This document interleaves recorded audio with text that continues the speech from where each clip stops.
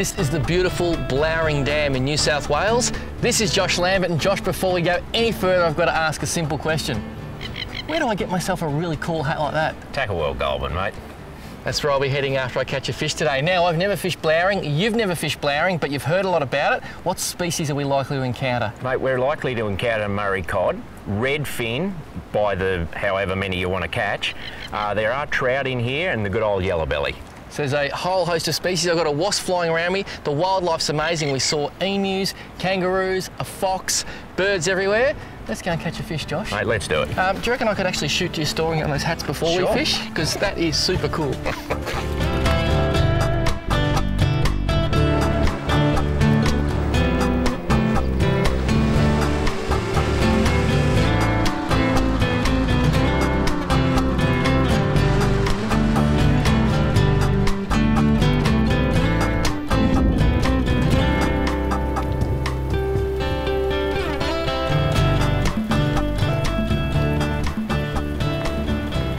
How good is this? There's a reddy coming up.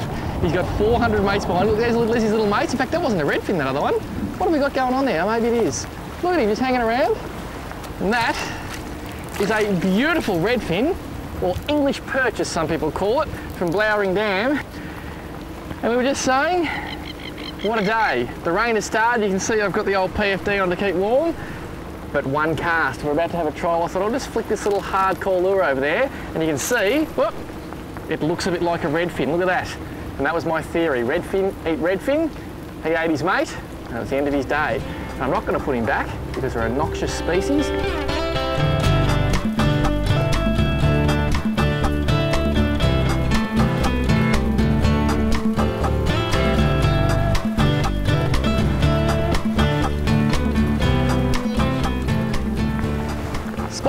Probably not something I need right now.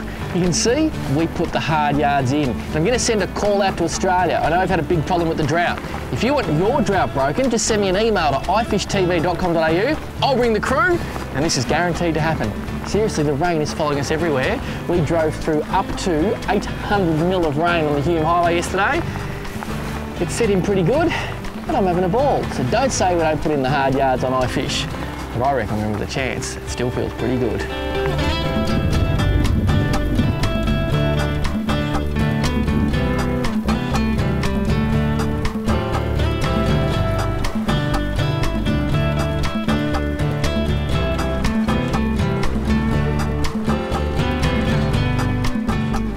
Josh and I have never fished this dam, we're just using simple principles of fishing to try and find a fish.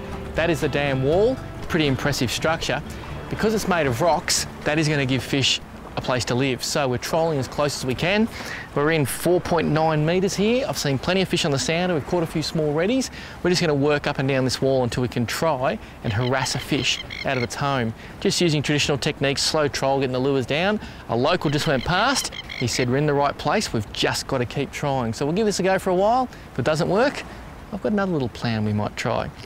One more thing. What did the redfin say when he swam into the wall? Damn!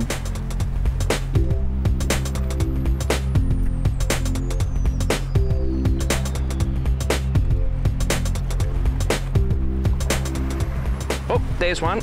Oh, Paul, you've got to be happy with uh, redfin. They are just a great fish to catch. The downside with them is they don't get terribly big because they've got a uh, some sort of fin disease or some sort of disease in the in the fish itself. It stunts their growth, but they're just in plague proportions. There is so many of them. The beauty of them is they're such a good fish to eat. Oh, you got There's two. two. You got two on Josh. got to be happy with that. Look at that, two on one lure. Josh, you are a talented angler. Hey? got to be happy with that. Uh, I said before, Paul, this place is plagued with them, and that's just proven it.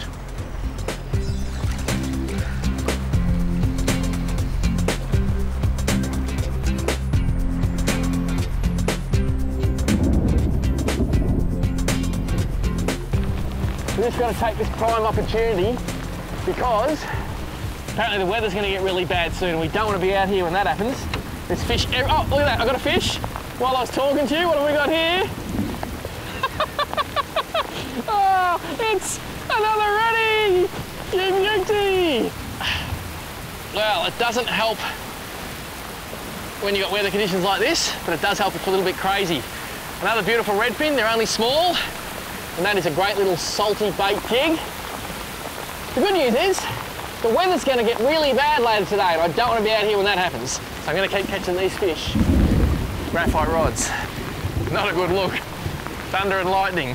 Not so exciting.